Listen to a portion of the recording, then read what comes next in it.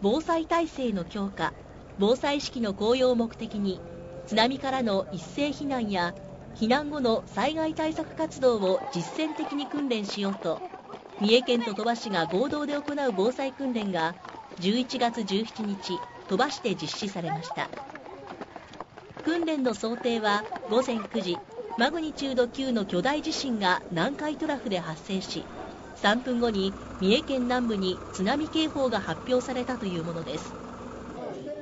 避難してきた住民は鳥羽東中学校の体育館に入りここで実際に避難所体験もしました。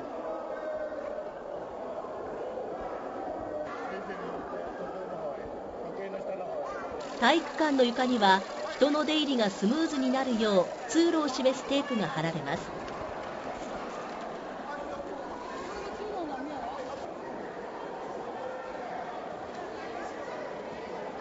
そして区画ごとに地域の人が集まります。視察に来た鈴木知事は住民から熱心に訓練について話を聞いていました。こちらではワンタッチのパーテーションを広げています。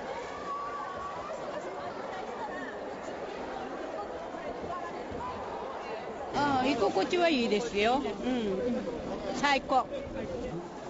仮設トイレも組み立てました。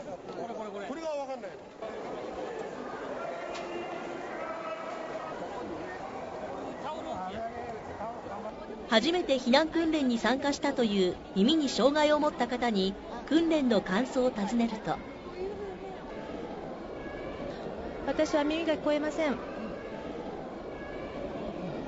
その時周りの状況が本当に伝わらないことわからないことっていうことがはっきり今日参加させてもらって分かりました。改めて自分としても周りの人から協力をもらえる方法を考え聞こえない人たちの防災に対する知識を高めることを考えないといけないと思いました。避難所での食事も体験します。この日は雨にもかかわらずおよそ5700人が訓練に参加。防災に対する市民の意識の高さがうかがえました。